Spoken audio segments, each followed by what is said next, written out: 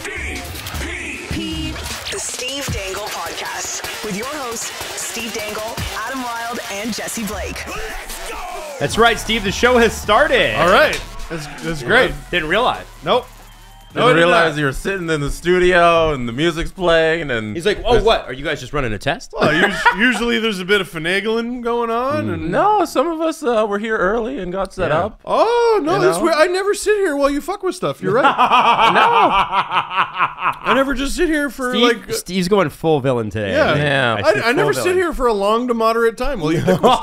Uh, totally, yeah. No, that happens. You're right. Yeah, You're right. yeah. You're right. Wow. No, hey, it's how good. is how is the general manager most on the hot seat? How is he today? It's uh, Friday night is game seven of the Tampa Bay Lightning versus Buffalo Sabres in the second round of the NHL playoffs. Last night we played through the trade deadline. Uh, so I'm a little embarrassed. So Oh. The way it works, trade deadline day in EA Sports NHL 22 franchise mode is there's a time limit Mhm. because you start your day. Oh. You start at like I think like 8 a.m. and then your time runs out at 2 p.m. when the trade deadline's over. And it's really self-imposed that restriction because you can just make trades the day before on the calendar. That's true. You don't you don't have to do it. But I like to hold firm on the game. I like to I'm playing the game. You're big on the theatrics. yeah, exactly. You're entertaining the people. exactly. So trade deadline day starts. I go out. I get Trouba, Okay. number one defenseman on our team. All of a sudden, wow. Not bad. I'm like, hey, we need a left wing as well. I try and get Andre Burakovsky, who. What? What do you mean? What do you mean? What's- What? I haven't watched every second of every stream. What happened to like one of your most valuable players? He left th- this past offseason, so we thought he cashed out because because of theatrics, we're gonna go get our guy who had a great playoffs last year for Right. us. He le- in Absolutely. the offseason. You We're to gonna go that. get him trade deadline day. Because I tuned in for the playoffs and you were like, "Oh, Burakovsky, we couldn't get him back." I'm like, "What do you mean you couldn't get him back?" Is it? Did you run out of time, or did you? So- did you fall asleep on the phone like Jim Benning did with Troy Stecher? I believe we were dealing thing?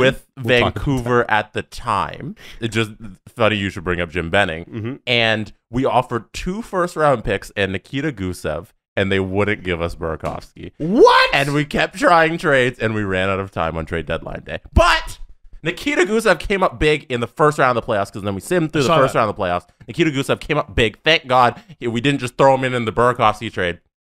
We win round one. We demolish the Sens uh, 4-1 in the series. Good. We go to the second round. We're up against Tampa Bay Lightning. Tampa Bay Lightning, one of the best teams in the NHL, even though we finished first in the Eastern Conference, no big deal. We're an amazing team.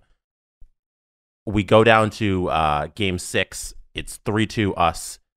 Vasi shuts us out.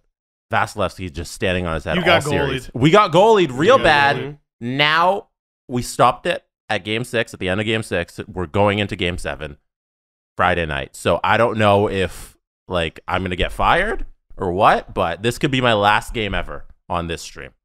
It's quite sad. Now, man, man, that's such high stakes. Yeah, this could be our last game ever doing this Buffalo Sabres rebuild, and I'm quite sad. But let's go out and win game seven. now, now. The reveal for when you won Game Six is so good too. You game can't- five.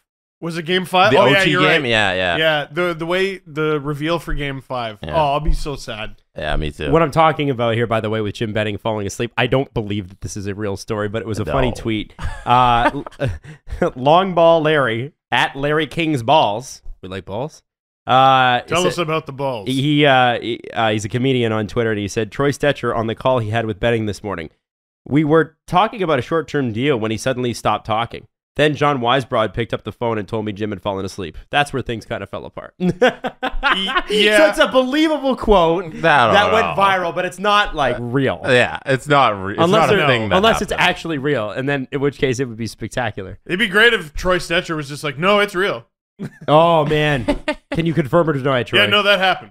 That Um, uh, I I have to say, um, it's been so fun to see the reaction in Jesse's stuff on uh, Oh. Like the franchise rebuild mode. So here's the thing, Jesse, and and I know you can't be thinking this far ahead in the future, but let's say you Mhm. don't win the cup this year. Hey, I I haven't planned for that outcome. That's one thing I've I mentioned a few times on the stream. I think it's bad juju. I didn't. I usually prepare like music and theatrics for every event that could happen on the stream, and I haven't prepared anything for if we don't win. This guy gets it. This guy gets It's it. bad No, win, no plan win B. only mentality. yeah. He I mean- di- he does have a plan B, and the B is for Buffalo. Go Sabres. Could there be a season six? Is what I'm asking. No. Wow. I've set up the franchise mode to end at five years. Ooh. Yeah. all that work Yeah. undone, and all he has to do is get goalied one more time. It's not like you're playing an easy goalie. I mean, you're on the hot seat, pal. I know it's a possibility. I would I would write up that resignation thing and just have it signed and ready. Fill in the dates. You missed a great internal struggle outwardly because you played who in the second round? Um, Are we're, playing we're we're facing the Tampa Bay Lightning. who are without who? Victor Hedman missed two games in the series, but he's back for Game Seven. Oh, no, he was back for Game Six, and uh, now he'll also be in Game Seven. So Game Six they won because Jesse discovered he was injured and went. Oh, we don't cheer for injuries. Yeah. We don't. We want to We play don't them do that. healthy. Yeah. We don't We do- t- ah, we don't cheer for that. That's a rule of the stream. You don't cheer for other teams' players to get injured, but you can Feel good about your chances Yeah. increasing. You can like what's happening. Better man than I. Yeah. You're not happy that Kevin Durant got hurt, but you're happy the Warriors got worse. Yeah. You know, as you do. The Raptors fans weren't cheering when he when he was. Snapped his No. freaking Ar- I was Achilles I was in the building for that moment, and we were definitely cheering the dunk that happened at the same time, and not Kevin Durant being injured. Mm. who who was it who dunked? Oh gosh. Um, uh, I Ibaka? think I think it was I, Ibaka. I think it would. I might have been Ibaka. I'm not I'm sure. not sure. I don't. I don't think it was Ibaka actually. no, No, Oh, I no. don't. I think it was a guard. God, I guard. miss him. Anyways. so, um, uh, the Trevor Zegras School. Holy Oh, shit! Well, and we're and for forever and ever, amen. I don't even know who scored it. Sonny Milano. There it is, Sonny Milano, which is a great name. Uh, Yeah. Sonny Milano, who Where do you think his family's from? Um, I'm gonna say uh, I don't know Japan. yeah, right. Yeah, like, That's a like. Mario and Luigi. Yeah, that's right. You know? that's and they actually are. Yeah, that's so funny. absolutely. Um, Sonny Milano. We're also everywhere. aren't Mario and Luigi's their names are Luigi, Luigi, and Mario, Mario? yes. no, no, they're Mario, Mario, and Mario Luigi. Or no, sorry, Mario, Mario, and Luigi Mario. Is that They're that the? Mario What? brothers. Oh, so Mario's last name. Oh, r- yelled really loud. Mario's last name is Mario, Yes. and Luigi's last name is Mario. Yeah, they're the Mario. Mario So he's Mario, Mario. Yeah. Okay. Okay. There you go. So Sonny Milano, absolute Sonny Milano, Mario. grand slam shot. Like he, that was going center, you know, straight away center field all the way. And but what was amazing is Zegras got it up and over the net. I, I think the two of them together, I that's got to be the most shocking NHL goal. But like you've never seen two players more surprised that that went in. No, never, never. I've never seen a reaction like that in my entire life. It was amazing. It was unbelievable. And I, I can't remember who tweeted it, but it was before this goal. Trevor Zegras tries something crazy at least once every game. Mm. This guy's like threatening to go Michigan every game. And what's great about this assist that he just threw off is it came from a fake Michigan. So now people are going to anticipate the fake, and he's going to score a Michigan. It's happening this season. We all know that, right? Yeah. What month is it going to happen in? That should be a bet that I could bet on. January, perhaps December already. Yeah. February, March, April. This dude is must see TV. He's a franchise changer. He's an absolute franchise changer. and and uh, it's I, I like the thing is is that it, it's amazing um, when you see top athletes at the top of their sport doing the top thing. But it's it's also even more amazing that a game we've been playing that, that has been being played professionally for what 104 years, in the, like at that. least in the NHL form, we're still going. Wow, nobody tried that for 100 years. It also shows how Fun fact, Sorry. you should say that.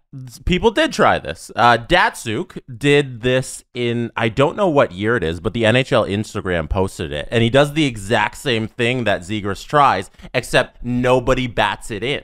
and it's So, against the Ducks. I it's think. against the Ducks. Oh, that's crazy. So it's, it's a fantastic video. I can't show it on screen because we'll get pulled from YouTube. But go on the NHL's Instagram, scroll a couple posts back. But Datsyuk tries what Zegras pulls off, but there's no one sitting there in front to bat it in. No. So it it doesn't go down in history as one of the greatest goals. It's on Jonas Hiller. That's why hockey players loved Pavel Datsyuk. Yeah. Yeah. Pavel Datsyuk changed the game like underratedly. Players wanted to play like him. Mhm. He's un- unbelievable, and he never was firmly in the discussion for best player in the NHL, and probably should have been. Yeah. He didn't get the love he deserved. Do you think Zetterberg took some of that spotlight away? And Lidstrom and um, the some of the guys that, that were on that team? I mean, the Red Wings had like three all timers on their team at all times for 25 years. So I think that probably hurt him. Yeah. Um, but he was absolutely unbelievable. But the fact that Zegras pulled it off, well, and even it's what what Zegras and Milano combined for here is so much more special than what even Datsyuk was going for because Datsyuk was, you know, that's the next frontier in the NHL, the air. the air. So he used the air to simply put the puck in front and hopefully have someone bat it in. Milano bats this thing out of the air because he's anticipating it. Hmm. I was thinking, what if his stick was just above the crossbar and this whole thing got ruined? I'd, I'd be uh, so upset. I would be on here today campaigning for high stick goals to count. Yeah. I'm not kidding. You can't have guys swinging sticks Yeah, you at can't. eye level. no, that's well, not. I used to think that way, Jesse, and then I saw that goal, and you can just yeah for a long time, guys. It's fine. For a long time in the NHL, you weren't allowed to pass the puck forward. To Right. your point, Adam, about the game advancing, you couldn't. You couldn't send the puck up the ice uh, intentionally. Mm-hmm. So uh, we're gonna reach a point where this more stuff is just gonna keep happening, and I'm excited to see where hockey goes in the next. I don't know, 20 to 15 years. Because what these NHL players who are like retired always keep saying is these kids t- today, they're doing stuff that we didn't even think of the, with the puck. Yeah. They're dancing. In practice, if you see kids who are like 12 just do stuff on an ice Mm-hmm. rink today, it blows your mind. So you don't. I, I think too. Part of the the reason that that's happening is because the internet is so easy to share videos. Yeah. So one guy in his backyard rink who could do that crazy thing, maybe five people would have known about it in his neighborhood. Now fifty thousand people can find out about it on TikTok. a million people saw it on TikTok Yeah. in an hour. I've Yeah. talked about this. Like the influence of guys like Zach Bell, Pavel Barber, uh, Nasher are having on the sport. I mean, uh, Sasha Barkov was out there doing shootout moves with Barber because he's learned stuff from Barber. That's how unbelievable this guy is. And like viral stars Ido Aguchi. It like it, oh, the the, from Japan. yeah, the- Unbelievable. The, internet has had such an impact. And uh, other conversation, I don't know if he's going to get voted in. The NHL has to move heaven and earth to get Trevor Zegras to the All Star game. If there's going to be an All Star game this year, he has to be there. He Yeah. has to be at the all at, at the competition. Yeah. I just want to listen. There should be an event where nothing has to be accomplished. It's just watching players do amazing shit. I don't. I'd rather watch that than guys stand on a platform aiming for little nets. I was in St. Louis for that. That sucked. that event was stupid. They're going to do it this year. It, oh, it took forever to set up, and no one could hit anything. And they bring out Brett Hull, and there's a pop, and then he can't do anything, so the pop dies. And no, that event sucks. Just have Trevor Zegras do wild shit with a GoPro on his helmet. Yeah. That is live feed to the Jumbotron. That's all I want to see. That's all I want to see. I want to see Zegras against Auston Matthews in a crazy shit competition. On American soil, two of America's finest. You know, the the guy who's an established star versus the rookie. Right. You know, I want to see that. I like that. I man, it's so weird to think of Auston Matthews as that, but he I know. all the way is. Tell right? me about it. all the way is. I I uh uh the game last night was interesting. Columbus uh has been playing well above their pay grade this year in terms of what you would think that they would have Always on do. on paper. Always do. Those are the two Auston Matthews goals. Very different scoring. I'm trying to. There oh, was the yes, second goal yes, two yeah. right before Nick Ritchie. Uh, I had to go through the Rolodex, but I had Matthews' first goal filed under Michael Bunting So why why did you have that filed under Michael Bunting? because that pass was disgusting, and it was still only the second most impressive pass in the NHL last night. Yeah, seriously. And uh, so, so when Matthew scores that goal, you think, "Wow, that's amazing." But uh, to me, the fourth goal, I think it was because he scored before and after Ritchie. Fifth. Fifth goal. and they all they Tavares got the fourth. Tavares Tavares got the fourth. Yeah. Um, the fifth goal was so um, vintage him because you're talking about a shot that if anybody else took it, it's going off the chest yeah, and or wide. or wide, or you know the goalie squeezes it between the pads. Yeah. His shot is so sneaky. It throws the timing of goalies that are taking it. Right? He Mhm. it's like he knows what he knows when to pick up the speed on it and he knows when to actually slow it down. And it, that goal to me was like that goalie saw him, squared up, and it still went through. I looked at it and I was like, that's a bad goal. You think that's a bad goal? Yeah, the oh, no, goalie- I- I think that's an Auston Matthews shot goal all the way. That is, it's because of Auston Matthews shot that. I that don't goes But how, how many bad goals has Alex Ovechkin scored in his career? You know what I mean? Zero. I don't think that's a bad goal. What? Why can't it just be a snipe? That's what I think it is. It- I don't know. Why? It's a okay, laser. It bounces off of the goalie Yeah, Like, because and he almost stopped it, but he because it's a bad goal. but he didn't. No, but like okay, it's Auston Matthews one on one with Yeah. a goalie. Yeah, If sure. you're a goalie, is there a worse position to be in in the National Hockey League? There's not many more. no, no. There's maybe five. Yeah. It's not a great time. It's not a great time. He's got like 50 goals in his last five games. How dare you? How do both of you? I'm just watching. it I think that's a great. again. I thought it was a great goal. It's Oh, definitely- Adam spilled. Oh no! Adam Oh. spilled. And it's going on the floor. Oh, did you get saved it it? in time? Saved it. Saved oh, it. yeah, there you Yeah. go. Hooray. Yeah. Anyways, I look at that. I'm like, goalie should have had that. But I, I think the reason he didn't have it is because it's because of Auston, Auston freaking Matthews? Matthews, man. That's why I know everybody's talking about that. The, the first goal he scored. To me, the second one, I'm like, that does. If that's Pierre Engvall, that's not going in. Why was I reaching for the exact same name? Well, well, because Pierre he fails on every single break he has.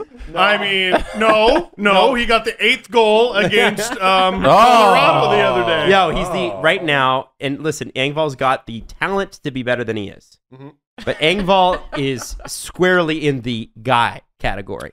Oh, I, I well, I figured this out.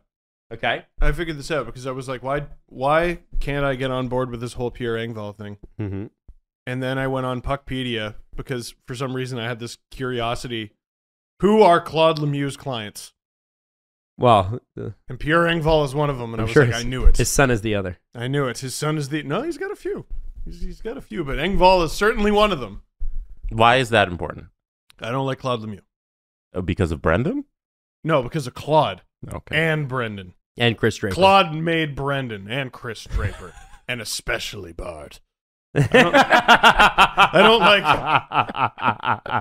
No, Engvall can stay. He's a leaf. That's fine. Yeah, no, it's listen, I, and it's not a disappear Engvall, but there's a difference between the shots, right? Yes. Like what Frankie Corrado Sure. said when he was on, he's like, "Well, this guy can sling the pill." Like, you know what I mean? I like, love when he said that. He's uh, he's just talking like a normal guy. Oh, hockey player. yeah, Hockey player. hundred percent. But he's right, right? Like, there's just a difference to that. I, I do think, man. Uh, I, I didn't get to watch the much of the third period because I had to go to bed. Oh, good. And it's so funny waking up and going, "Oh, of course it was five four. You know, well, the fourth very- one came with a, uh, half a second to go. Yeah. but I just you still like you look at that score hmm and you think like if you didn't know that that was again this is my initial thoughts. I wake up, I get the the Sportsnet notification that it was five four, the Leafs win. I'm like, of course they came back a little. Of course they did. Yeah. But it was it was a good victory in the sense that that's probably a game where Columbus climbs back in and they win in past years. You know, Oh boy, is that the bar? yeah. I think I Uh. think that's the bar for this team that's now in first place. I was with it because Columbus scores in the first 30 seconds of the third, and I Mhm. go, uh oh. Um, but then they held the fort until three and a half minutes to go, and then you're like, oh, now that now they're down 2 Mhm. Columbus pulls uh, the goalie with uh three minutes to go, and I'm like, oh shit, here we go, Mm-hmm. here we go. And honestly, if it ends five three, I think we all look at the game a little differently. But just that goal with half a second to go, and like TJ Brodie's body language was so shattered for a guy who literally just close the game out. Like, don't- Yeah. don't, worry about it. It's but all the good. standard is higher. Yeah, The standard is higher this year. Sheldon Keefe had nothing but bad things to say about that performance. really. Yeah. The first period was great though. So it sure was, Where was it? The rest of it. and then it went away. You know, Mm. Toronto's 11 3 and 1 at home this year. God. That's a good value for your buck if you're paying to go to the game. You see the Matthew stat? In No. his in his last. I think it was 83 home games. It was either games or home games. Yes, I did. His it is. It was home games. Home ga- Yeah. Guess how many goals he has? 70 80 something. 83. 72. He's a mutant. He's a mutant. It's ridiculous. yeah. He lives in the sewer and eats pizza and has a rat as a mentor. He's a mutant. He's a teenage mutant ninja turtle, is what I'm trying to say. That's It's crazy. stupid. It's Crazy. so. I think there's a lot of positives in the last month and a half from this Leafs team. And They- good- you can't point to really any bad losses no. because that's that's something we always look at with the Leafs. Is I mean, I Winnipeg, can't- where's Winnipeg, where's Winnipeg. their crushing defeat? Uh, The Winnipeg game, I don't think it's a Nah. bad loss. Uh, nah. It's. I mean, it's a goalie in his fourth game. It wasn't a great loss. they competed. They came back in a game when they were down. What was it? 4-1, 3-1? I think yeah. it was five. I think it was five one. and they made it a game. Yeah. Like, We the also- Leafs have been on a roll. We Did, also did need, you see how the Leafs almost blew a five one lead and had the decency to not gloat about it? um, You know what I mean? the other the other thing is is the reaction. Yeah, we didn't fuck that up. Yeah, good for you. I Feels think- good to beat Columbus, hey guys. Yeah, what's better than beating Columbus? I don't know a lot of things. Like Jesus Christ. Anyway, My thinking is the the last thing I want to say is I love the reaction every th- every time something goes right for Nick Ritchie. Oh, The players on the team good. certainly love him, and he finally scores. But I also think he has been good. he's got. I think it's six points in his last eight games, which I realize are not world beater numbers, but they're perfectly fine. They're perfectly good Nick Ritchie numbers. Yes. So so then here's the thing. You know, the the, the famous thing on the Amazon uh the Amazon documentary, The All or Nothing um uh you know, the conversation with Jimmy Vesey. What do you Right. do here? What you, you got to find a role. You got to find You're something. very vanilla. Vi- yeah. So Ritchie had a bit of that at the start of the year, Yes. and people were really on him. Oh yeah. So what is his thing? If you're Sheldon Keefe, what are you using Nick Ritchie for? Well, the difference between Ritchie and Vesey is when Ritchie was struggling, um, like what what are we at? Game twenty seven now. Mhm. So for games, I guess one to seven, he was in the top six, didn't do anything, and then from about game eight to game twenty, he's like, could always be an asshole. I guess I'll be an asshole, and so he was an asshole, and he dug and he hit and he face washed and you know, sometimes it went awry and he took a dumb penalty.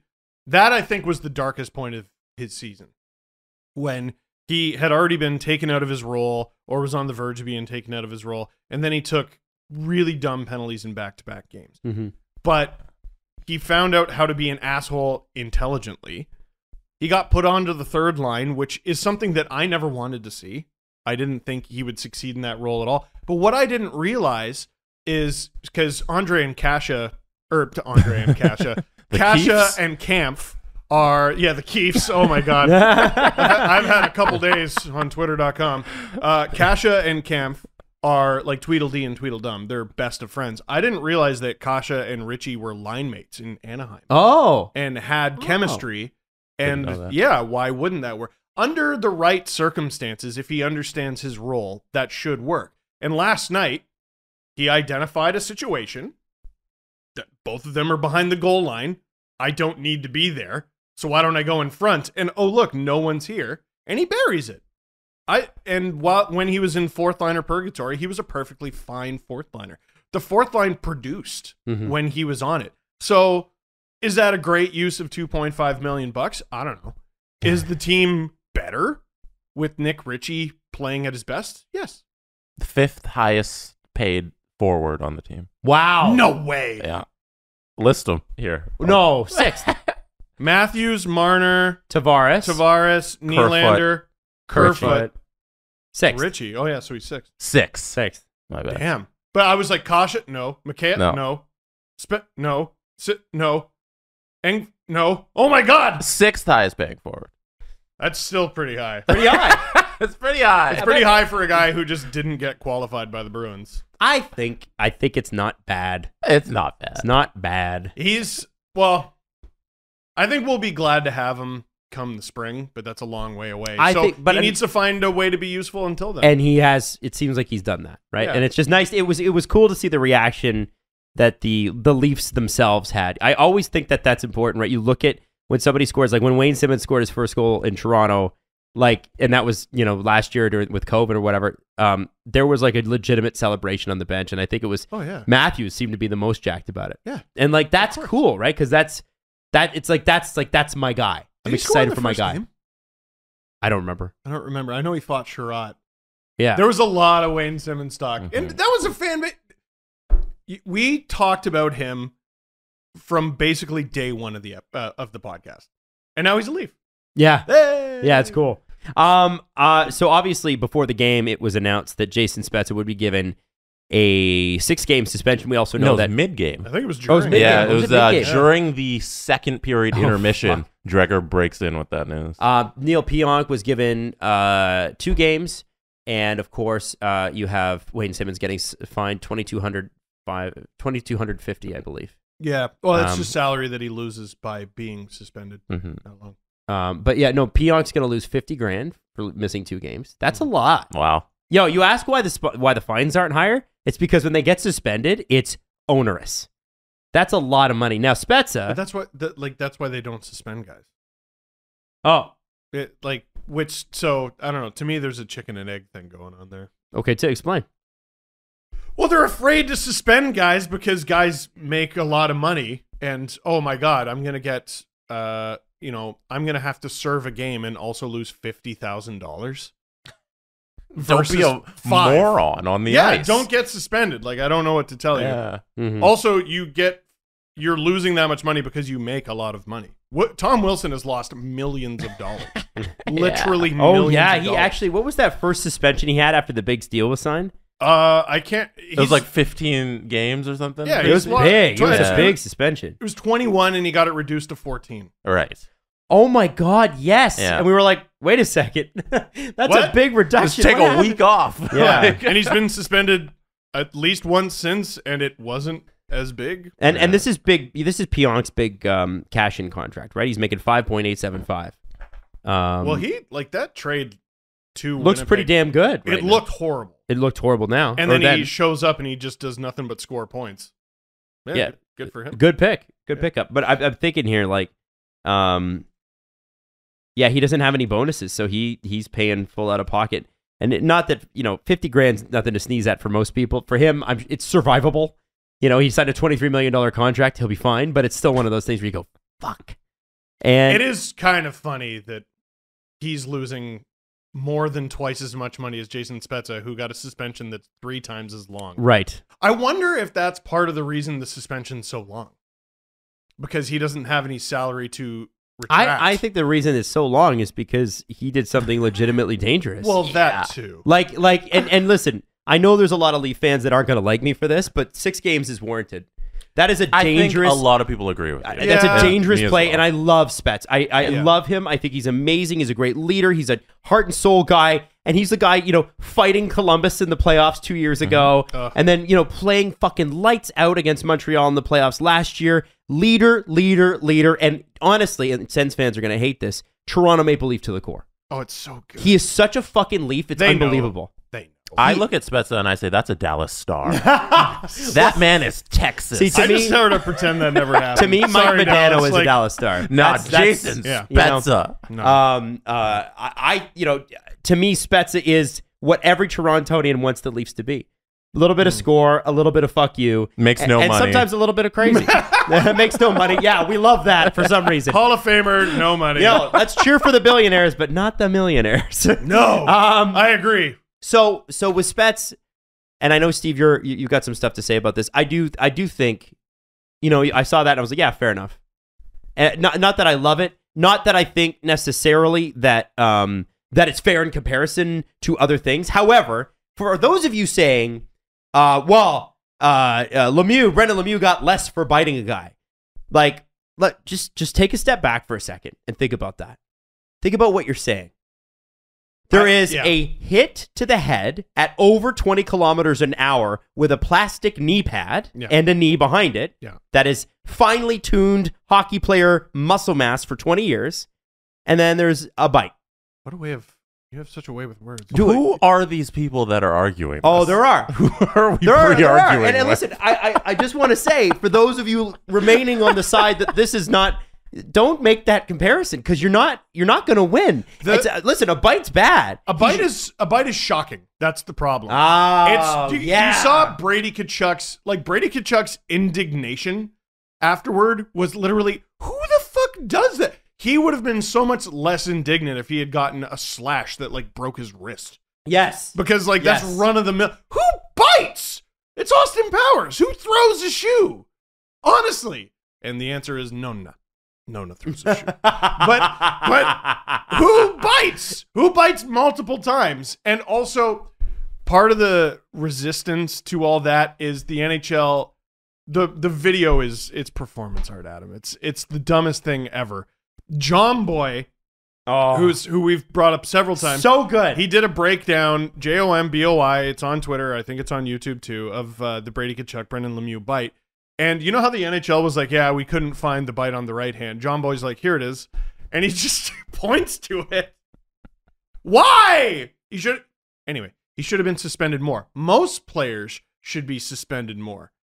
And this is the conundrum here, because Spezza's suspension is just about right if that's going to be the standard going forward, which we know flatly it won't be. So I don't blame fans for being like, that's a bad thing. He deserves it, but also fuck the suspension. and both are true.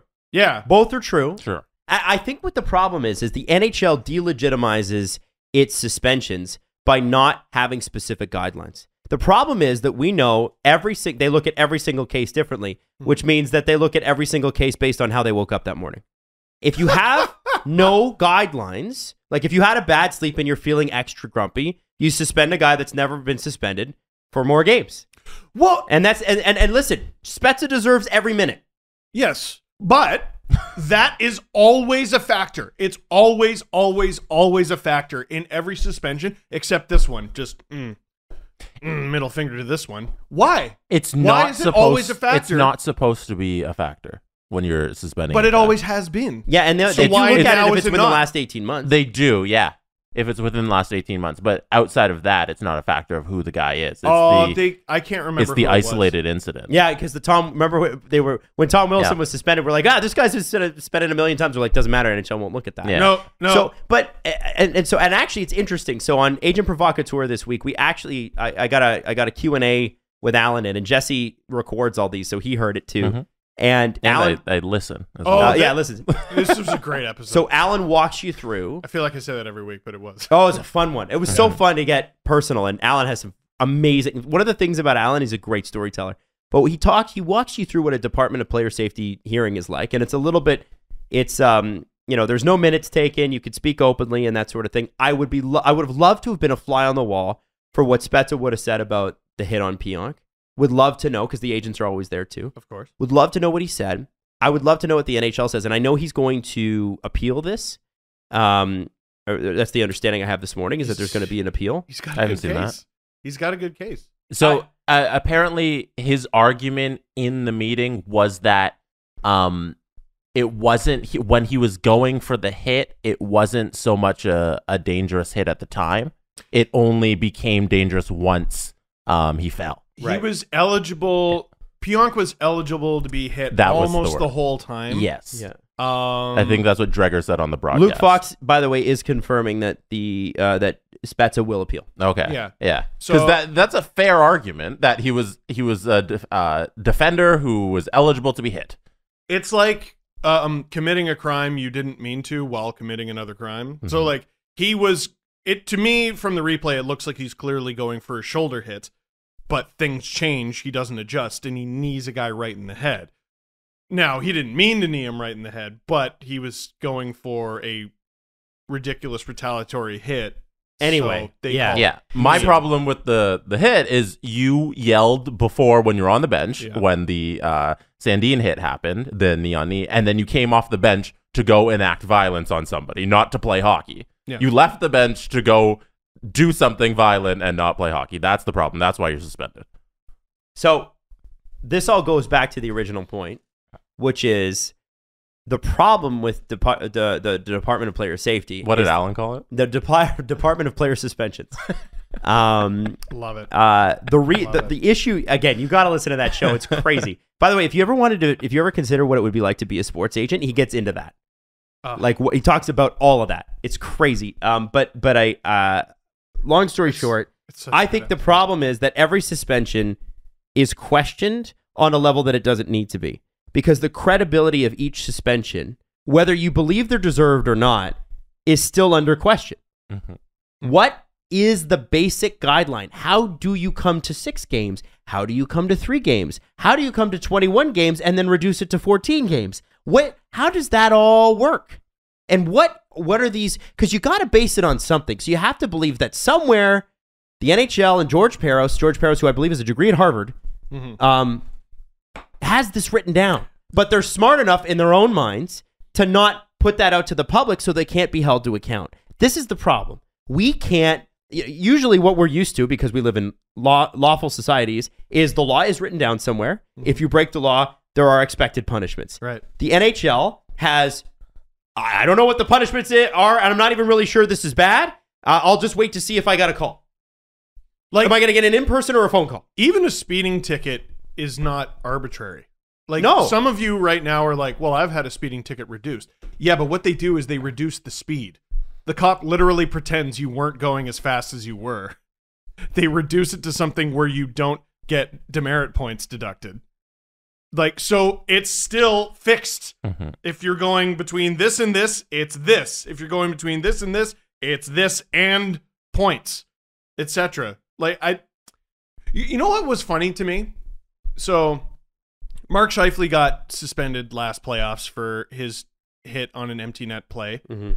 Third uh, dirty incident on an empty net with the Jets over the last year. But that suspension bled into the regular season. The most arbitrary suspension I think we've ever seen. I don't remember if it was 2018 or 2019 when they suspended Nazem Kadri just just the rest of the series. Mm-hmm. That suspension could have been three games. Mm-hmm. Yep. It was Mhm. no, it's just the rest of the series. You're done for the series. So wait, if we win, I can just show up game one next series. Yeah. And here's Why? I don't know. Did you see the highlights from the the Canes uh, Jets game last night? Yeah, it's a bad knee. Ian Cole That's a bad knee. like almost takes Mark Scheifele's leg off, yeah, and got a penalty. and a, and a game misconduct. And So did anything happen after that? No. Yeah. Good. That's how it should go. And we're talking pre Spezza here. And Pionk should not have played another minute in that game. the official uh, who called the penalty on Ian Cole was an official in the Leafs Jets game the other day.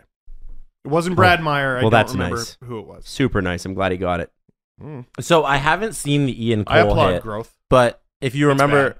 Ian Cole's the, also the one who took out uh, Kuznetsov when him and Tom Wilson had that huge fight Mm-hmm. like two years ago, and it was the I don't that. anniversary of that that fight. Was it a knee that Ian Cole did? Uh, I believe it was a knee on knee on Kuzi. So I, I haven't seen this play, but was it a knee on knee as well? Adam? I don't know. The Oh, Kuzi what, one? last no, night? no, the Ian Cole one. Oh, yeah, yeah, from oh, last night. This absolutely. one last Oh, night. yeah. Okay, I haven't oh, seen it. oh my it. god, and it's bad. like when you watch it, it's shocking, Okay. and it's it's it's it's more blatant than the Pionk Sandin one, easily. Yeah, I'd say so. Like I'd it's just so. it's a cleaner knee, if if there's a way to put it that way. it's stuck out way farther from the player's body.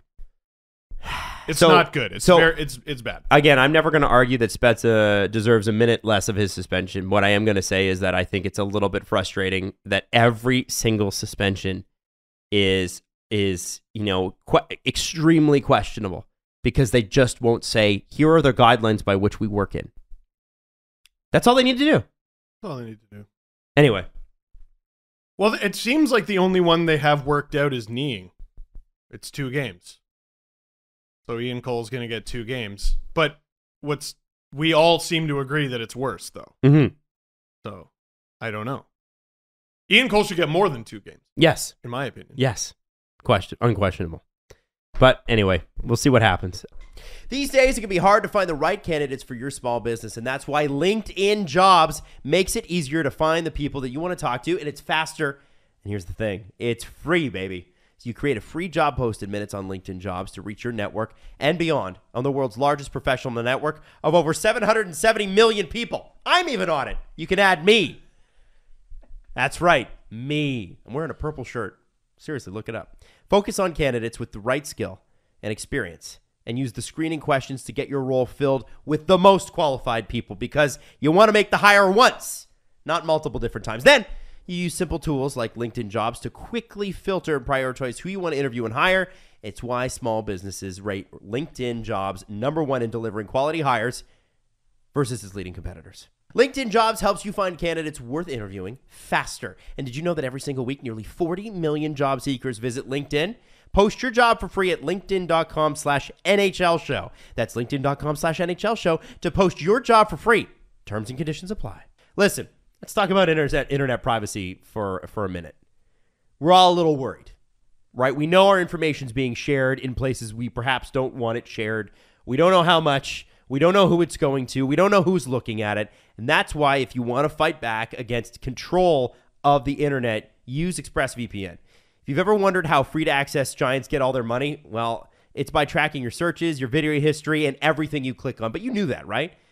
They're building a profile on you, and then they're going to sell it off. So when you use ExpressVPN on the app on your computer or your phone, you anonymize how much of your online presence is hiding your IP address. That makes activity more difficult to trace and sell to advertisers. And what's more, ExpressVPN encrypts 100% of the network data that you put out there and protects you against eavesdroppers and cybercriminals. And what you'll like the most about this is it's going to take one click to protect all your devices. That's why ExpressVPN is rated number one by Business Insider. So let's stop allowing tech companies to just take your information and sell it to random people. This is your privacy. You should secure it. Go to expressvpn.com slash SDP. That's E E-X-P-R-E-S-S-V-P-N.com slash SDP to get three extra months free with this exclusive link. Again, it's expressvpn.com slash SDP to learn more. Ho, ho, ho, everyone. Let me ask you a question. You don't have to answer, but it's a serious question. Let's talk about the down there region. Is it clean? Do you feel like you're prepared with the right tools to keep it clean? Do you have access to the Performance Package 4.0? Because listen, if you go to manscaped.com right now and use that code DANGLE, 20% off and free shipping right now. Also, you should take advantage of this. This is really cool. The just launched Ultra Premium Body Wash and a two in one shampoo and conditioner. Do I need to do this to my hair once? Yes. Twice? No. It's taken care of. Done. Easy. And here's the thing about the for- Performance Package 4.0 it includes this, and this is important the Crop Preserver, the Crop Reviver, which is the anti chafing ball deodorant, moisturizer, and toner. They're all in there. It's time to keep your North Pole feeling and smelling fresh. You'd be crazy not to take advantage of the 20% off and free shipping afforded to you by using the promo code DANGLE at manscaped.com. Again, that's 20% off and free shipping with the code DANGLE at manscaped.com. 20% off, free shipping, manscaped.com. Use that promo code DANGLE. Clean up your nuts and make Santa proud this year. Balls. Um, so uh, I want to ask you about this, and I'm just going to pull it up. Did you guys see? Mm-mm. This is odd. Did I see Agent Provocateur? No, did you see that? You should watch that. Um, no, this is really odd because first off, let me just say start by saying being a team social media account runner cannot be easy, and especially because, um, Oh, especially because oh no. if you have a team voice, like the Leafs are just robotic. It's three two Leafs. Here's a yeah we uh you love to see it. That's what they tweeted last night. I was like, whoa, personality. And the reason they do that is because they know every tweet that they send out is going to be scrutinized, right? Wayne Train, Yeah. Poppy, Willie Styles. like it's super grandma Yeah. glass of water boring. but but Water is good for you. but like you remember when Vegas launched their Twitter account, that guy, the guy that ran it at the time, like stepped out of line a few times. Wasn't there didn't he question uh, whether or not the local reporters were fans, like a Nashville reporter? Oh. And and we and, and then he said, "Well, who was the guy that he questioned?" It was a Nashville The reporter. diamond. Di- The, the diamond. Um, and he said he's you know, Jim Diamond? Jim Diamond. And he had a backhanded. It'll get Jim you. the Diamond back Diamond. yes, yes. He'll snake you? no, he'll get you. He'll He'll get get you. ya. The Yeah. Diamondback is he'll get you. It's an old bit that we did, but it's it's you know th- that's that guy was like bananas, and they've toned it down a little bit. But Vegas still has a voice. L.A. has a voice. Nashville has a voice, and this is where it gets a little odd. I want to read you a, a, a tweet between the Nashville Predators account. By the way, it's been up since eight What twenty is, last what night. is happening? well, I'll have a listen. oh, you, you didn't see No, this? no. Oh, Well, let me- let me- He's, he's okay. getting there. There's a reason I said all that. yeah, yeah. Nolan Bianchi, who is a uh, writer for the Detroit Free Press, wrote Uh, it's got to suck for your city's name to rhyme with Trashville at Preds NHL. which is a, which is Like I, if I was 12, I would find that really funny. okay. So like, the it's other not day- a great tweet. the other day I tweeted that Auston Matthews could beat up you and your dad, and That was a I- bad tweet. I thought for sure everyone would interpret it as intentionally absurd, and Right. Immature, because I'm talking about a professional athlete beating up your dad. I don't know your dad. I don't care about him either. and people are like, So- tweeting you pictures of their dad, going, "No, I don't think so." yeah, like literally, here he is. And so a grown man Tweeting tweets, Trashville. Trashville. I read that as someone intentionally tweeting like a 12 year old. Yes. Not someone who's just an immature idiot. And that was my point. Is it's not a great tweet. It's not some sort of oh you body bagged him like it was. it's a throwaway. yes, yes. It's- your your tweet though, you expected the internet to react reasonably to your tweet, And which they is why it's a bad tweet. 'cause that really never didn't. happened. Honestly, you should stick to the Discord.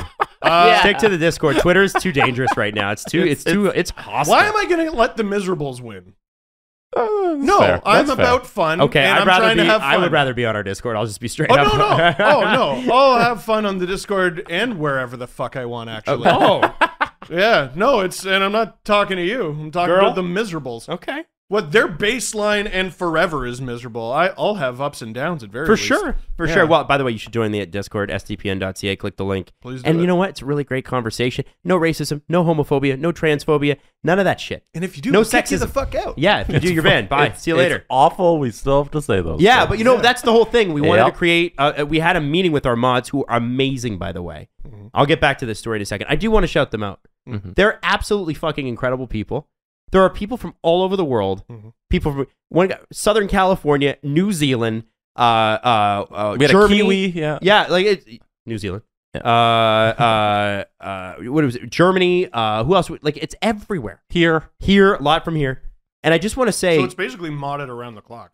100%. Yeah, that was the that's Robert and uh, Yams and Lucy who designed who got all the mods together. They specifically designed it that way. They had to get uh, mods from overseas so that when the East Coasters or this this side of Asleep. the planet are asleep, there are people on the other side working the Discord, and they're awesome. working it. Yeah, They're working it. it. and they're just doing an amazing job. So if, if that is you, thank you so much. I, I so it's nice to meet everybody. I hadn't met everybody yet, and they're so sweet and kind and whatever. And I just I compare that. And I told them on the meeting, I'm like, the thing that makes this special is that I can go on and have a an actual conversation. And the threads are on the side about what I want to talk about. If I feel like talking about history that day, I can go to the Adams History Corner one. If I feel like talking about F1, all the people in the F1 right now are talking about the F1 uh, Drivers Championship online because EA has launched their own online league now, and the the competition's absolutely amazing.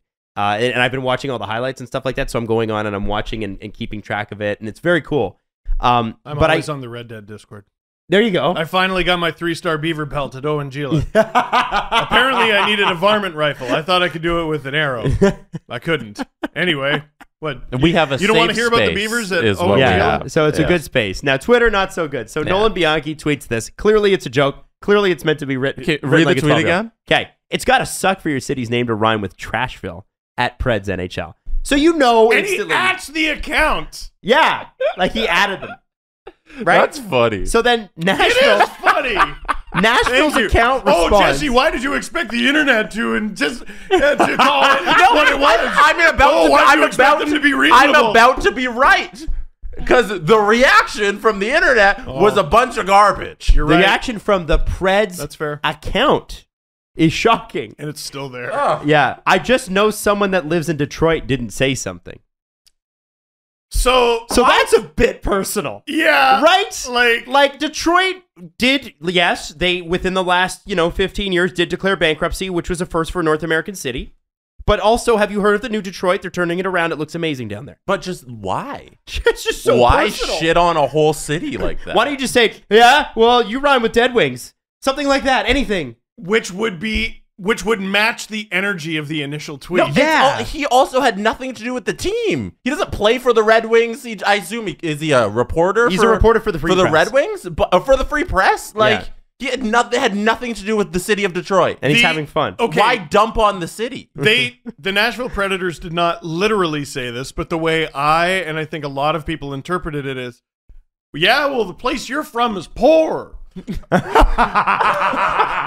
That's how I read it. Oh man! Which, So- as someone who lives in Oshawa, all Oshawa jokes are just people from Oshawa are poor, and it's like, okay, man, that's actually kind of dark. no, I, I don't think it was that. It was that they that they is it It's is it they true. were poor? Yeah, Is oh, that what that's it So Oshawa. What- What? Okay, what do you mean by that? I always thought it There was. are that's a- parts of Oshawa that are a bit dilapidated, so people make fun of that. We are in Toronto right now. What? I didn't say there aren't also parts of Toronto just like that. I'm Yes, you saying what people. More like trash Ronto. Now you're twittering me. I know somebody from Toronto didn't write this. No, here, let me let me take this very literally. What do you mean by that? Hmm? What do you mean by that? You Explain your joke. That makes it funnier. You said a thing What that you mean doesn't by that? align with my life experience. I'm upset. Yeah. You think Stop getting so close No, to you me. think Matthews can beat up my dad? Individually, he might be able Yeah. to take me and my dad. He can't take us I'm both at the lean same in. time. He can't take us both at the same time. All right. God, you have such a big head. That hurts. Um. So so I want to read. I want you to read this too. So the Nashville Predators have left this up. The Detroit Red Wings tweeted, "Win or lose, we love this city."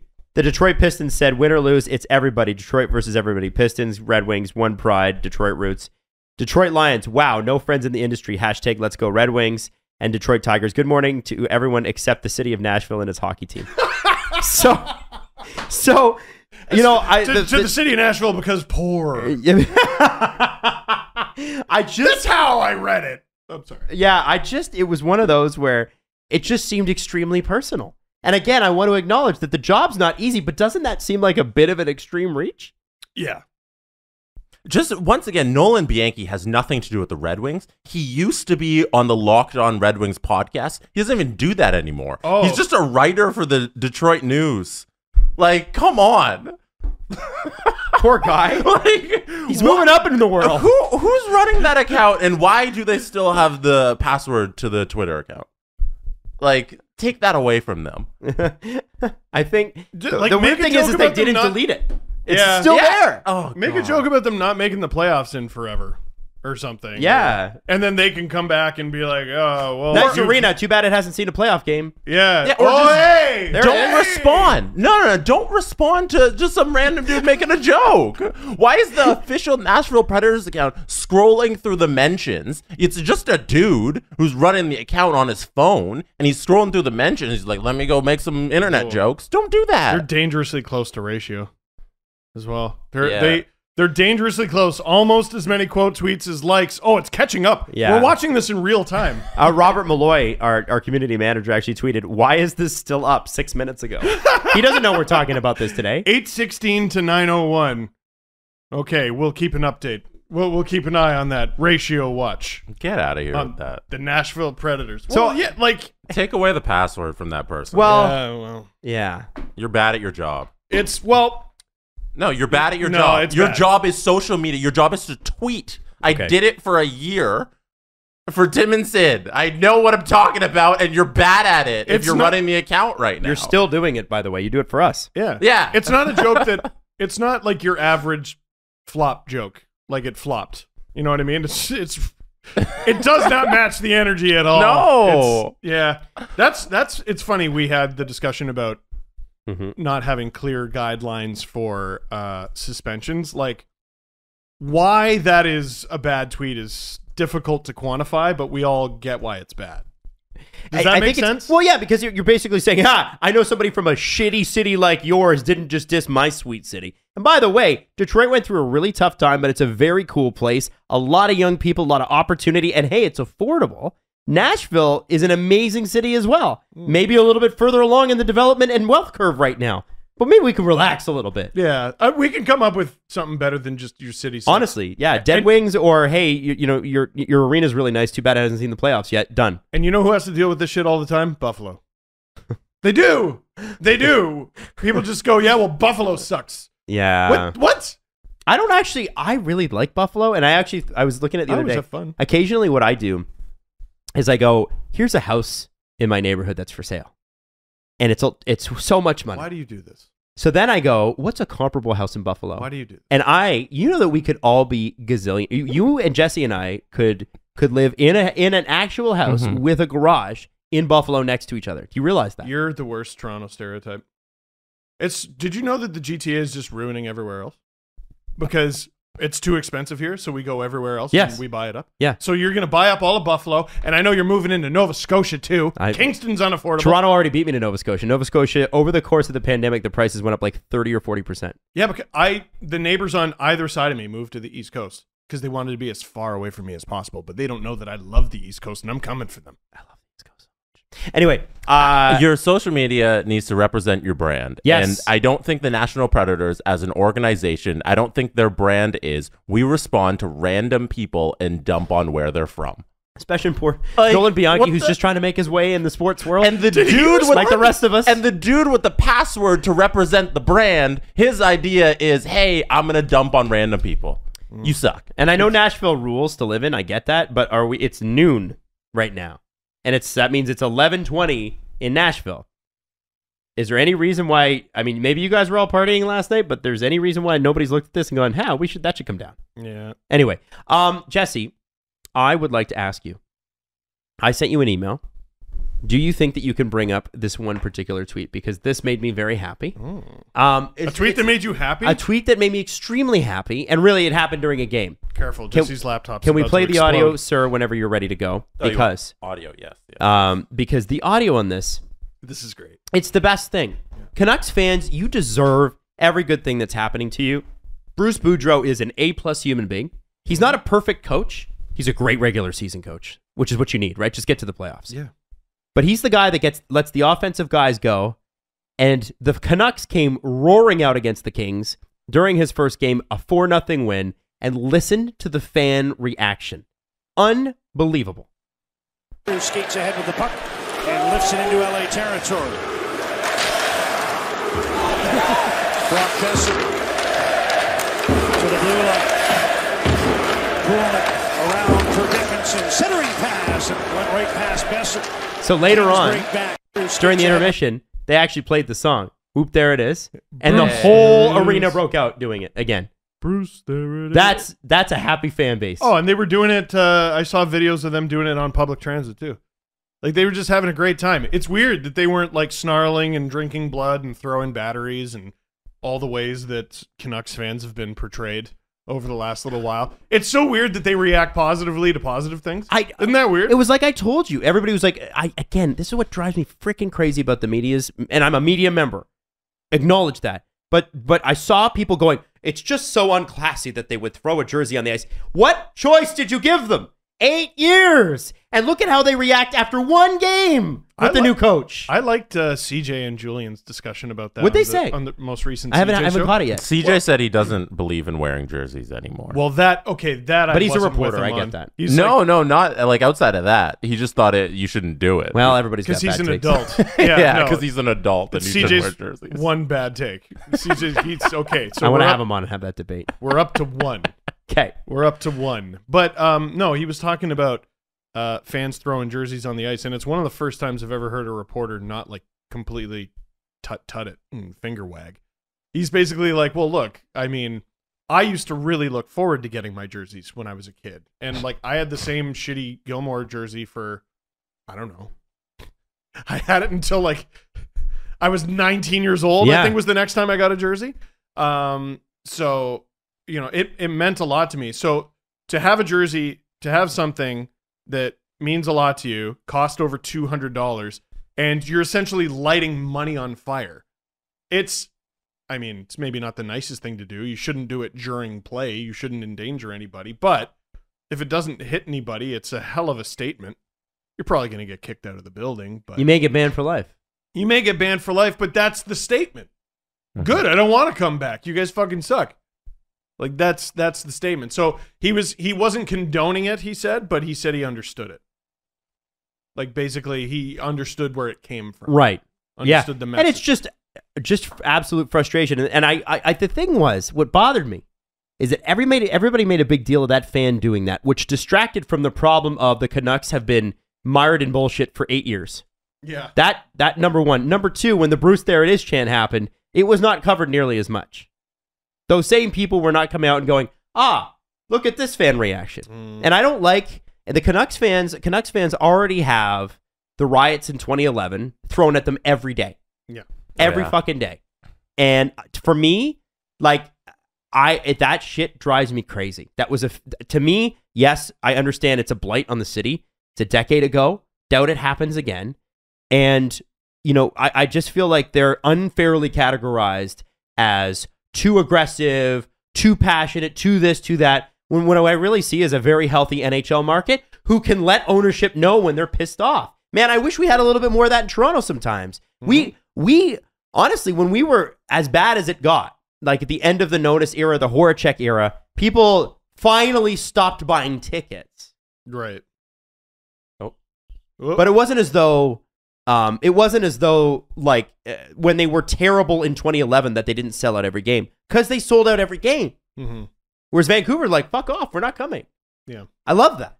That's how you send a message, and that's the fans' way of keeping the team competitive. Good for them.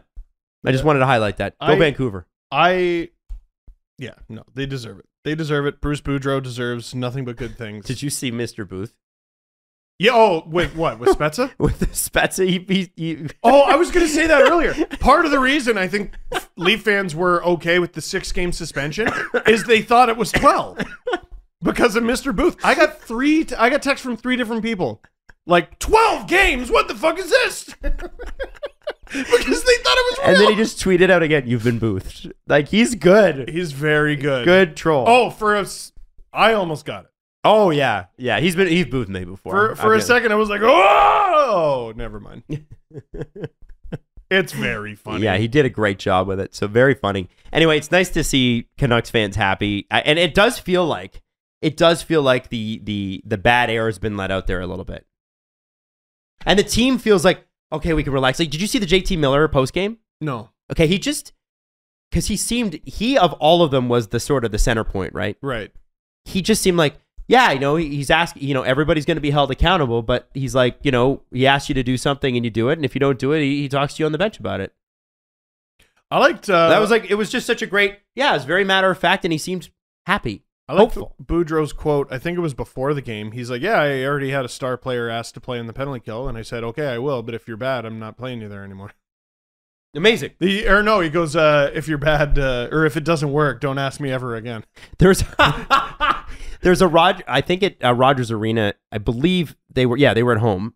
Mhm. Rogers Arena had a fire, uh, a fire alarm pulled before the game that when something was triggered. Yesterday, Uh, yeah. Or no, sorry, the day before during practice, uh, or after practice.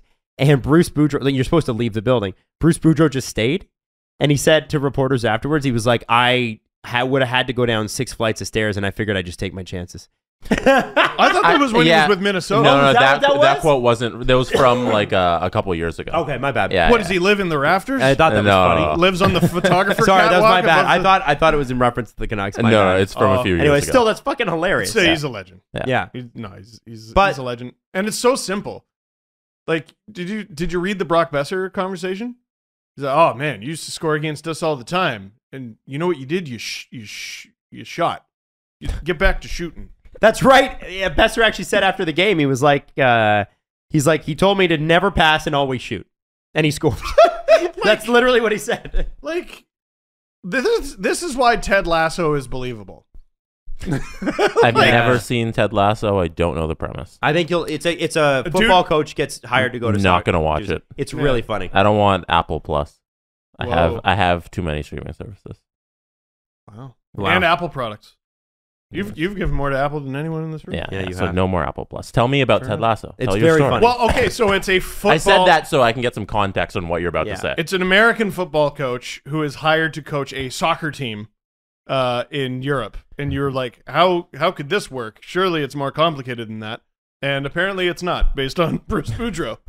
Any dude in a bar can be like, I want you to shoot it. You have a good shot, so shoot it. Go around the room. Who's the fastest player on the team? Uh, me, sir. I want you to skate. Why is I don't know. He's drunk in this. I don't know. I want you to skate. It sounds like somebody who's drunk at the bar trying to order a shot. and Yeah. the bartender's not listening to them because they're too drunk. Order me a shot. It's oh, yeah. That reminds me. Shoot. I already told you that. All right. Good. Do it again. Shoot twice. I Every think, time you shoot, you shoot twice. I think we underestimate the amount that professional athletes could just do this on their own without a coach. Because like we see assistant coaches hop in all the time, and Yep. like they're they're so good at what they do. Just any athlete who's playing a, a sport at a professional level that if you just give them some parameters and they can hop in and figure Yep. it out, Yeah. Yep. you know. Hmm. Yep. And Well- just make sure they're happy and motivate them. That's why when a, a coach sucks, it's so bad. Like if Travis Green was really getting the room down, it really sucks for them because it's so easy for them to just go out and play a sport that they love that they've been playing all their life. So you bring in somebody like Bruce, and you probably just Some "Hey, guys go don't shoot." have that that lightness to them though, you know? Like Yeah. like think about Torts. Sometimes Torts is really funny, but he's always dark. Hmm. And sometimes he's really endearing. Like you, you, I think TSN did a special on him where they went to his farm and he was like playing with his dog, and you know, and like, and you're like, man, this this is a nice man. And a lot of people who've played for him say that. But ma- but remember, Columbus had to have an um, a players only meeting with the coach to say, can you chill? Oh yeah. Like eh, there are certain guys where like I, I give credit to was it Stan Smyl or Francesco Aquilini whoever called Bruce Boudreau up and say we need a guy who's a little lighter. You know, we need a funny Twitter account with a little bit of experience. You know, coaching Alex Ovechkin. Let's hire the meme coach. Yeah. Which is that's Bruce Boudreau. He's the meme coach. and and uh and I listen, Canucks fans, I'm very happy for you, but do not forget Bruce Boudreau is cheering for the Leafs forever and oh, ever. he's an active, literally an active Leaf fan. Yeah, It's great. just throwing that out there. Like so many in Vancouver. Active Leaf I hear you have a lot of fans out there, man. Yeah. I gotta go back. I love it. No, no, for sure. Okay, so um, you know what? We didn't get a chance to do the press conference last time, so I figured maybe this time we do a little bit longer. Forty-five minutes. That's how long you want the press conference to be? No, I was kidding. but you guys, okay, I'm just gonna stop making jokes. It's Wednesday and we're done. The Presser. SDP. The Steve Dangle Press Conference. Um, do we want to talk about the? Do we are we announcing the guest we're having next show, or is that a surprise? Oh, I'll do it. Someone on Twitter got it already. I think because this person talked about it on their Sirius XM show. Oh. Yeah. They talked about that they're coming on. Yeah, they mentioned on Oh. their show that they're coming to see Yeah, us. someone tweeted me, and I'm like, "How the? F- how I do know. you know that? We didn't Oh. announce it. Yeah, we're gonna have Peter Mansbridge on. Peter Mansbridge, by That the way, is uh, yay. Peter Mansbridge is the Walter Cron- Cronkite of Canada. Uh, he's the he would be the best old school uh, news anchor we've ever produced as a country, and uh, is and and is just an OG as well. He's amazing, just a good guy, um, and brilliant. And I believe he has a book to promote. Yes, he absolutely does, and Incredible. I will take full advantage of that and So- have him on our show. So my my my vacuum's broken, and and I've got two dogs and a cat. And my girlfriend said to me, she's like, "Get the vacuum fixed because Peter Mansbridge is not walking into an unvacuumed house." Oh, I don't. Is your he's- vacuum broken or is your room? My room broken? was broken. Is he coming here? I don't. I thought he was coming. I don't think so. Oh, he's not coming here. I can send an email and get him. Oh, is it just Zoom? I'm pretty sure it's Oh, Zoom. okay. I was like, I thought he's coming here. I'm like, shit, he's coming to my house. I'll So- ask him. I mean, it'd be pretty cool to have him here, don't you think? I'll ask him. Okay, ask him. Okay, I will. Do you want me to do it right now? No, or- you don't have to. Oh, no, okay. it's okay. No, I think we can do we can do Discord questions because I think it's I think it's important we do that. right. The National. I'm Peter Mans. Um, Peter Mann. Speaking of great broadcasters, I think uh, since we were talking about Pre- Peter Mansfield, we should also mention I'm going to do this horribly, and then Steve is going to start to do it uh, very well. okay. Oh. Uh, Brian Williams Brian Williams. retired. So shout out to Brian Williams, who is also in the pantheon of Canadian broadcasters. I have a story about Brian Williams, if you might. go ahead. Um, I interviewed him uh, when I was a first year Humber College person.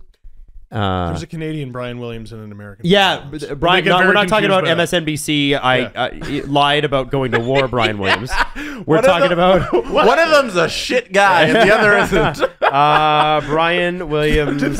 yes. war. Hang on, He, I'll, I'll look he up lied the story. about his his trip in. Uh, I believe it was uh, Iraq. Hang on, I'm when he looking was it up. com- yeah, tell the story correctly. Um, but yeah, Williams has been telling a shifting story over the years about a day he flew abroad uh, in a U.S. Army helicopter in 2003 during the invasion of Iraq. In later versions, he said the helicopter was hit and forced down by enemy fire, the version he told last Friday. Called out for his fabrication, Williams came clean, calling the recollection a mistake and acknowledging that it was a helicopter flying well ahead of his helicopter that got hit. I don't know what screwed up my mind and caused me to uh, conflate one aircraft with another, is what he said. Now, for that, he was the anchor of NBC's Evening News. Oh, dear. So he lost his position there, and now I believe he's at MSNBC, and he may have just resigned from that. He's continued his career, but has never been the same. So anyway, we're gonna have not that guy. Yeah, Uh, we're gonna have a not that guy story. yeah. Brian Williams in Canada is best known for me anyway for his Olympic coverage. He is one of the most passionate, energetic Olympic anchors we've ever seen, and kind and and incredible in the sense that you know when you cover the Olympics, it's two weeks, and you've got to know everything about everyone. You never know who's going to medal. And like when I did the Grammys, and this is my best comparison, the um the book that they give you to study beforehand is enormous. Like you got to know the background of who's up for World Music Artist of the Year. You know, is it this flautist? Is it this organist? Is it this? You know what I mean? You got to know that it was Esperanza Spalding. Uh, there it is. Yeah. I, I actually have a funny story Yeah. about. But Pick a harder one next time. long story short, that's the same with the Olympics. You got to know a lot about a lot of people, brand new faces. Even if you're in sports, you've probably never seen this. And Brian's commitment to amateur sport, he was always on like, you know, CBC would have like the Sunday morning swimming world swimming competitions or Canadian swim, and Brian would know everything about every person that that was was in it. And uh, I, I got to interview him for a school project while I was at Humber College. The one year I was there before I dropped out, and he talked about um, we were talking about hockey and we are talking about hockey parents specifically. That was my piece for Humber News. And he said one of the things that he noticed from young athletes, specifically hockey players, is he's like, the kids that are going to make it are going to make it.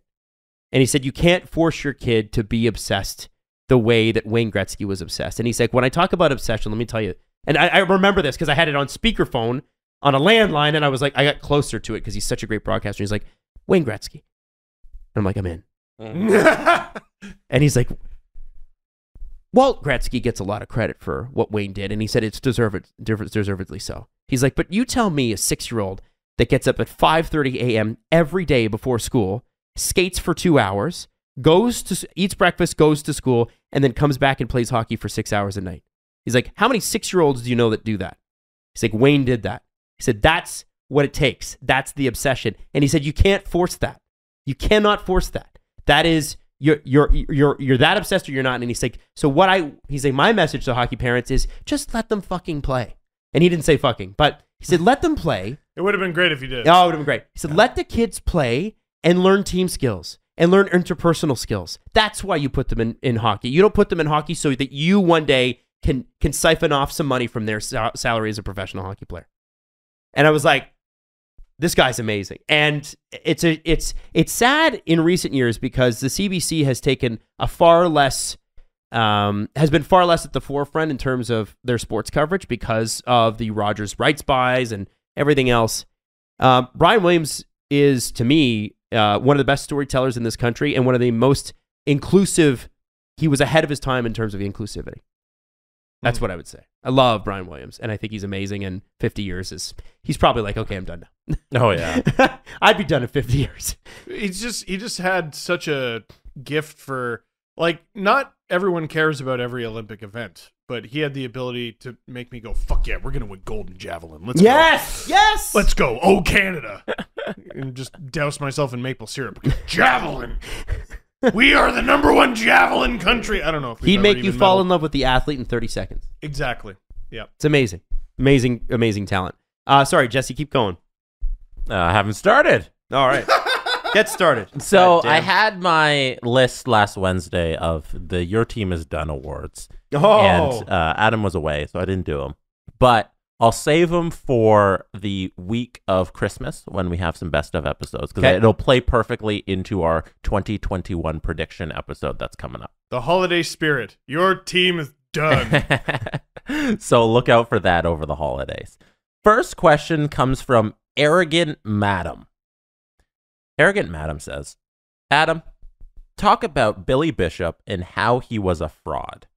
Man has an airport named after him in Toronto because he was Canada's air ace. But majority of his takedowns were not confirmed. Mm-hmm. Can you explain what's happening here? So, um, so Billy Bishop in in wartime. Have you seen Enemy at the Gates with Of uh. Jude Law?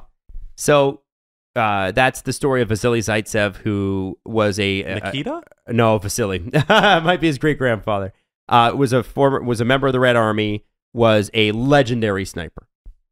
Is that And based on a true story? yes, it is. Oh wow. Yeah. So um, now I don't know if all of it's true, but I believe that yeah, the, the, the you know the guy had like 133 confirmed kills. Now Russia is famous for this. Yeah. They had they they had a guy, believe it or not, in Russian propaganda that you know one of their things was about being um, as efficient as possible, right? Being a, a worker for the state. You're doing it for the state. We're all in this together. But here's a great example. Here's a guy, you know, like good old American boy. Here's a good old Russian boy doing it well. So they they picked a guy who looked Russian, ethnically Russian, blonde hair, strapping, young, good looking, whatever. And they, you know, the average coal miner, let's say, can can pull out three tons of coal a day. They had this guy going, he can pull out ten tons of coal a day. And at the time, people believed it. It would, you know, show up in Pravda. It would show up on the poster. It'd be like, you know, just because you're you're really good doesn't you know, you're working really hard doesn't mean you couldn't work harder for Mother Russia, for the Soviet Union. So it's it's a propaganda story, and the reason you do that is to motivate a population to be the best version of themselves. In war, governments need heroes. They need their Captain America. They need somebody who they can say, look at this person, they're doing great. I mean, in, in Germany, they had in World War One, they had the Red Baron, and who was infamously apparently shot down by a Canadian, but now we actually think he was shot down by ground fire. So that's a whole different story. But Billy Bishop was at the time the guy that Canada got to root for. And it seems odd in retrospect that we're rooting for somebody to kill other people. But that's what war is like. It's something we can't relate to. Right. So when the newspapers are writing stuff back home, and especially later in the war, when air power becomes a major part of operations, and Canada specifically had a real problem getting people to sign up because, you know, when you see 50,000 people died in one day at the Somme, you're probably not going to sign up. And, and in fact, Canada, I believe, instituted conscription at the end of the war just because they were so short on bodies. So I say what's conscription? conscription is where you're literally forced into military service. Oh, I- oh, that sounds awful. Yeah, you, it's a lottery, and if your name's called, you're going. That's terrible. It's terrible. And it was something that they swore they'd never do. The Brits swore they never do. They never did it. Well, they did it in World War One, and they I think people did it again in World War Two. My thing is, Billy Bishop's story is not about Billy Bishop. Billy Bishop was a story to inspire Canadians to be their best. Now, did Billy Bishop profit off of that? and were all of his kills confirmed? But ah, who's there? Who's gonna check anyway? Hey, Billy, let's just put a little marker on the side of your your biplane there because they used to used to put a little marker for every kill, confirmed kill that you had. Right. Uh, let's put a little marker on there. Let's take a picture. Don't worry, it'll take 10, five minutes to render. So you take the picture and you got to stand there frozen. Uh, and then and then we'll send it back and the papers back home. They'll love it. They'll sell tons of one cent papers. And that's that's that's literally what Billy Bishop's story is. So yes, is it fraudulent? Yes, probably. Did he have that many confirmed kills? No, probably not. Um, however, at the time, the war was not going well, and they were trying to inspire Canadians to join up. And you got to create heroes to do that. And to create heroes, sometimes you have to fudge facts. He's a liar. Yes. And uh, why we have an airport named after him, I'm not exactly Well, sure. is he a liar or are the government liars? Oh, like, like big time liar. They Yeah. used him. Yeah. And he just sort of went, okay, I guess I'm Yeah. Billy Bishop. Like Captain, the story of Captain America is literally Billy Bishop. Only in the Captain America story, Captain America actually does it. Yeah. Like and the fictitious. The guy. fictitious Captain America. You know what I'm saying? Also, like, modified by science. Yeah, that too. Yeah, isn't he an alien? No, no, he just has like a drug that's Superman. inject- Yeah, Superman, superhuman. Yeah. Sorry. Yeah. Yeah. So anyway, long story short, that's Billy Bishop. I don't even know how many confirmed kills he was supposed to have had, but I think it's in the 30s or something. Uh, and really, it, it, it doesn't really matter. Should the guy have statues built in his honor? Probably not. Should he have an airport named after him? Probably not. But they've called it Billy Bishop this long. That's the thing about his history, right? There's the history that occurs right after the event and like 50 years later. And then there's the history that happens when it's not within living memory anymore. And you could take a much more objective view of it. Right. And what you're seeing, especially with World War One research, and you're going to start to see it with World War II research here in the next 20 years, is we're walking a, we're walking back a lot of the nationalistic tendencies that kind of permeated the way we conceived World War One, the stuff that we would have learned in school. And what we're getting is a lot more of an objective view, the way we would look at you know Napoleon, uh, who you know to some people is a hero, to some people is an absolute fucking monster. You know, where we and you realize that humans can be both, and history can be both, and or it can be absolutely stupid, like the, the Billy Bishop story. so anyway, long story short, that's the story there. It's it's all propaganda. They were trying to get people to sign up. All right. Trivia question. How many lakes are there in Minnesota? Thousand Lakes.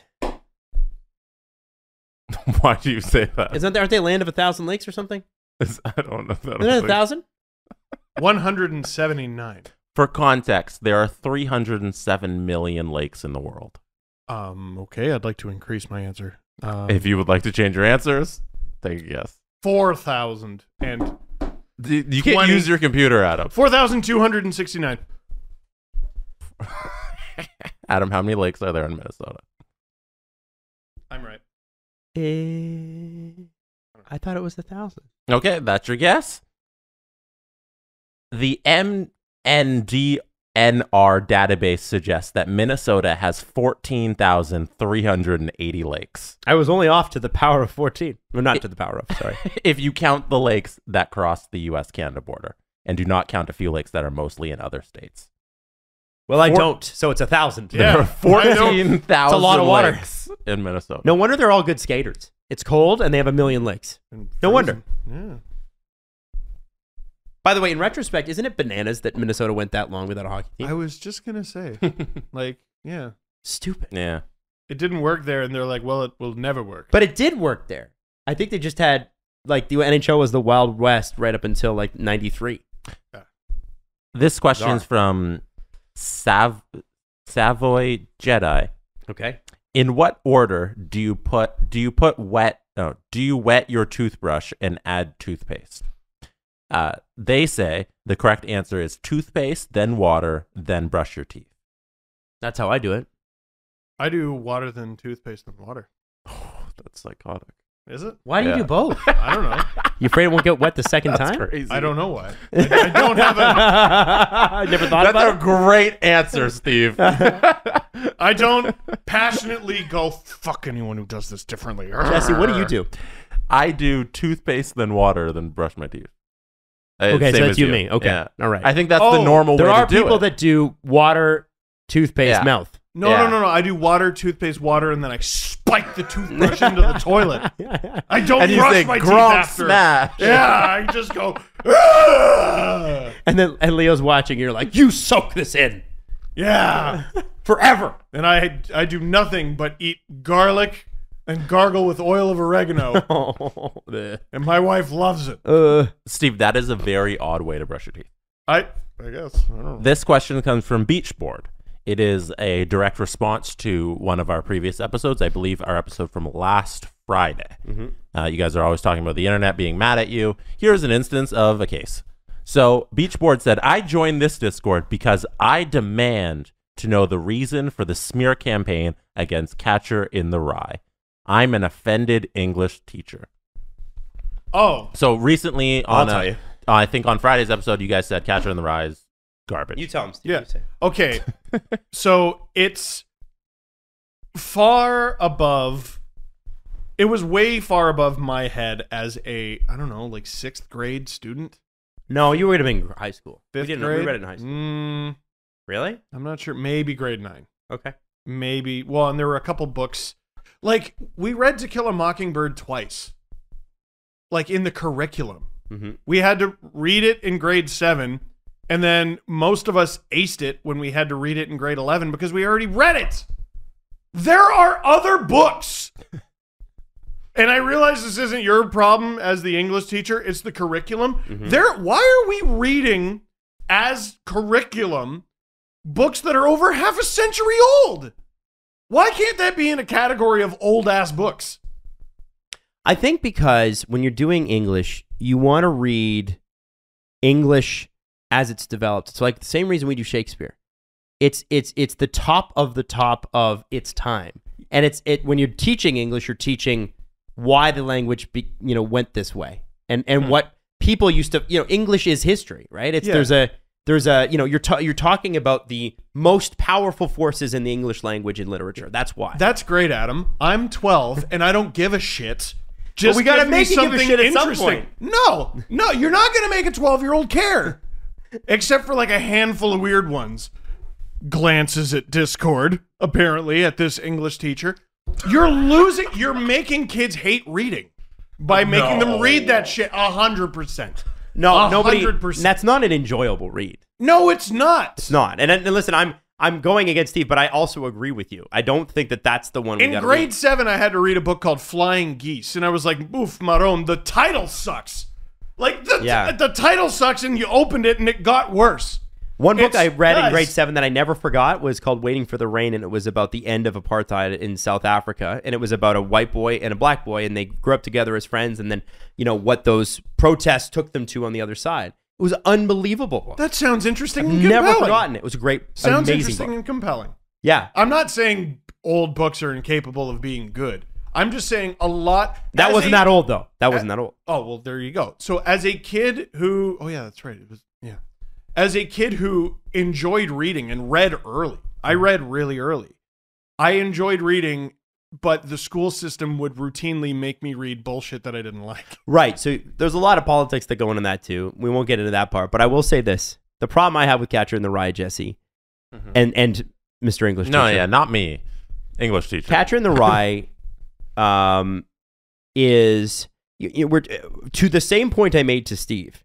We're talking about the best of the best that we have to offer. You mm-hmm. got to read the classics at least, or at least hack at them. Try. It's not. No, hold on. But that is not one of them. No, it's- That's it's not a great not. example of storytelling, of written word, of sentence structure, of chapter structure. There's nothing about Catcher in the Rye that's special. And then at the end of the book, it's like, well, he's not matured anyway.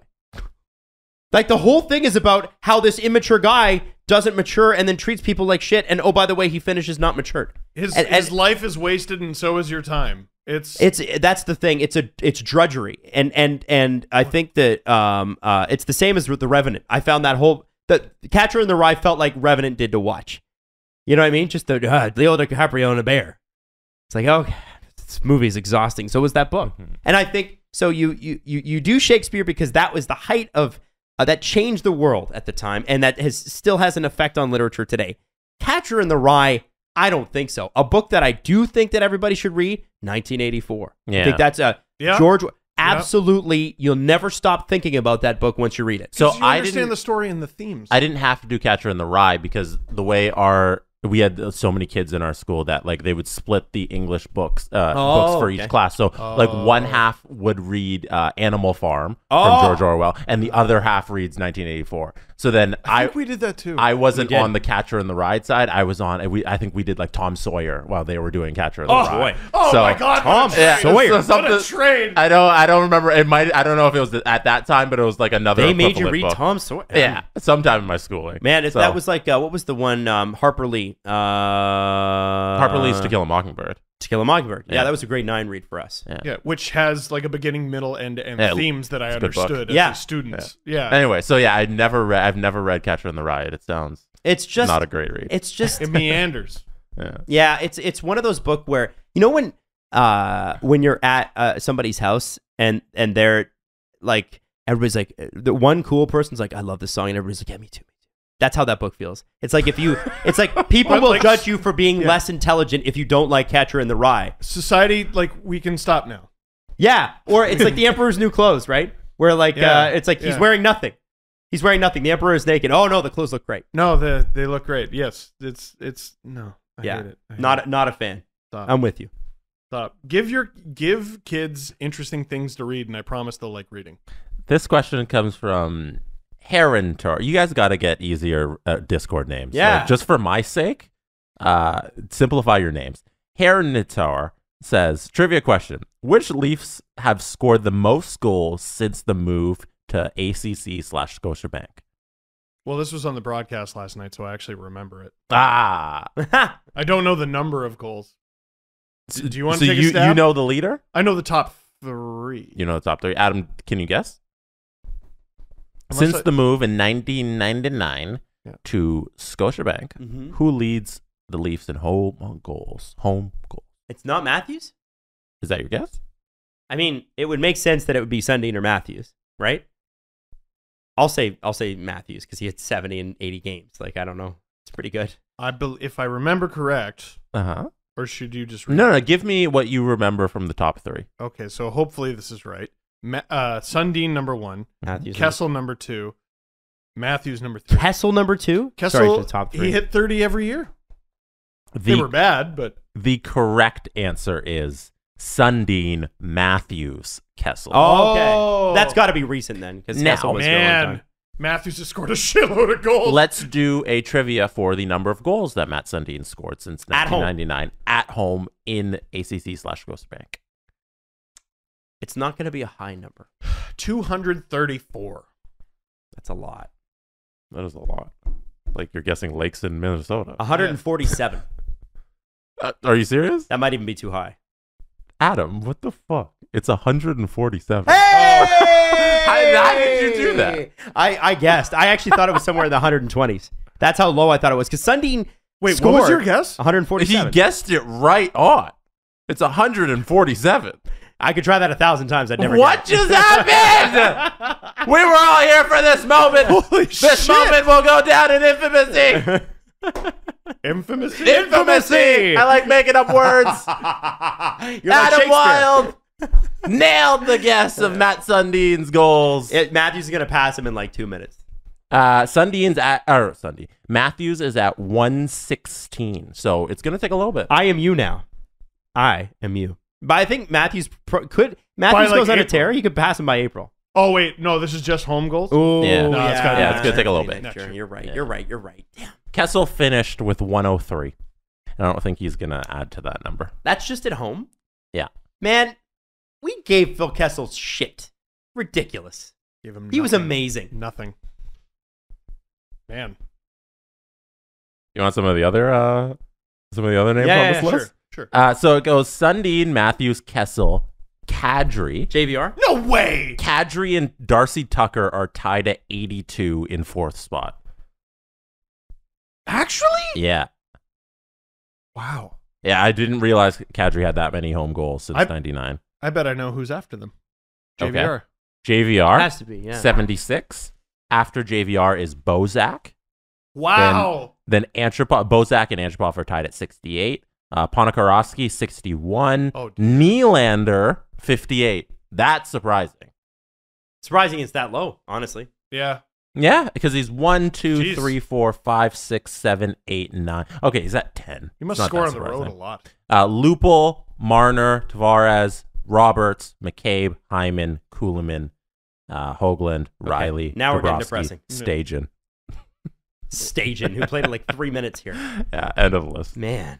Stajan's got 40 home goals since 99. Man, he was. So I guess he was here longer than I thought, but I was he Oh, only he here was. three, three, four years? He was in Toronto. No, you know what it was? It's because he was the he was like the the blue chip rookie who's going to save the team, and then Mhm. the team was bad, and we're like he must be bad, and we traded him, and then he was a very good flame for a very long time. 05 to 2011 to me feels like how the pandemic felt. For Like it's Leafs. just Never a, ending? bl- just a blur Yeah. of bullshit. Like it's just depressing all the time. No, it's very good. You should make 82 videos about them each year for Over over half a decade. Yeah, until that's something not happens. a test. I don't know what is. I cannot believe I'm still here. Do we have any more? We're good. All right, we're call good. it a show. Okay, so if you uh, if you want, check out Agent Provocateur because Alan Walsh tells a great story about balls. He actually does. Were we going to do an announcement? Balls. Well, I don't know if is that going to happen tonight. I thought we were going to do it on the show. Is this We the were going to announce something that's happening. I thought Andrew was gonna. Uh, no, I thought we were You know gonna- what? Let's hold off. okay. I want it to go on Andrew's show first, I feel like this is something I don't know about. and then we're gonna announce it Friday. Okay. Okay. Because you're gonna love this. You're gonna freaking love this. I can't But wait you're right. either. We probably should have announced it today, but that's okay. We'll do it Friday. Okay. Andrew's gonna have a game in between then and there. And I think he should you be the one who want it. Andrew to announce it, which is a hint. Yeah.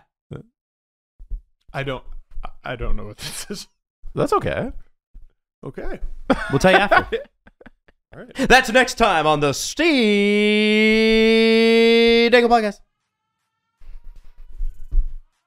What do you think it is?